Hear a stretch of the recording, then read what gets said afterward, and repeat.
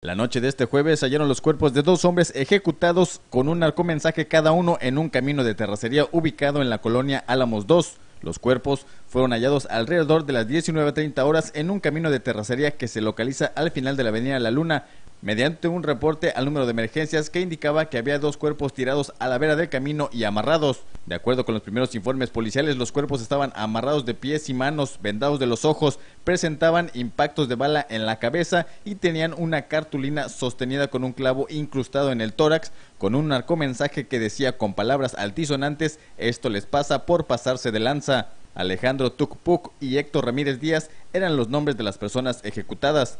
Con el hallazgo de estas dos personas, la lista de ejecutados aumenta a 63 en lo que va del año, superando así la del año pasado que fue de 58 en total. La última ejecución confirmada antes de este hallazgo se registró el pasado 5 de noviembre, cuando se encontraron los restos del empresario Alejandro Mirabete Ruiz, quien fue levantado para robarle su automóvil en el pasado mes de agosto.